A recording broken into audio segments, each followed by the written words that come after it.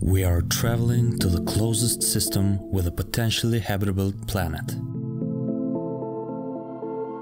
It's called Proxima Centauri and it lies only 4 light years from us in the constellation Centaurus. It is a very small red dwarf with a radius of around 60,000 miles, which is around 14% the size of our Sun. It's 5 billion years old.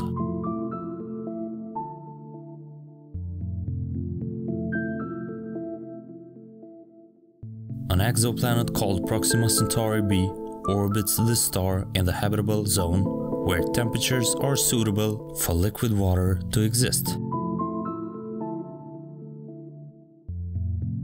The exoplanet receives an amount of energy from its central star that is about two-thirds of that received by the Earth from the Sun. It orbits its star at a distance of 75 million kilometers with an orbital period of approximately 11.2 Earth days. The planet has an estimated mass of at least 1.3 times that of the Earth. Scientists are pretty confident that the planet is rocky just like Earth. But researchers don't know for sure if the planet has an atmosphere, or whether that atmosphere could allow for liquid water to exist on Proxima b's surface. The temperature of the surface is unknown because it depends heavily on atmospheric characteristics. However, because its parent star is much smaller than the Sun, the habitable zone is 25 times closer than the one surrounding our Sun. Planets that are close in tend to become tidally locked, always keeping the same phase toward their star.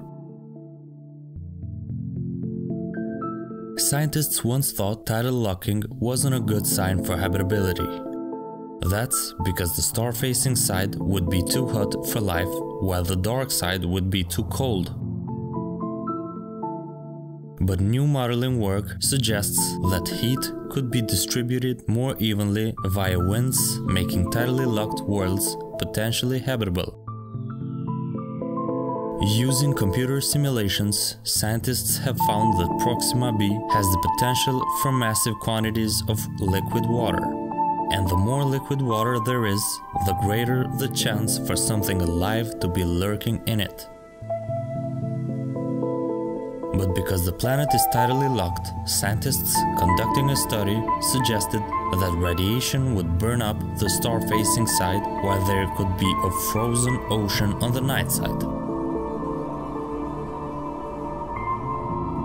Some scientists believe that an ocean circles the entire equatorial region, an ocean whose waters circulate and transfer heat throughout, kind of like the Gulf Stream currents cool off the west coast.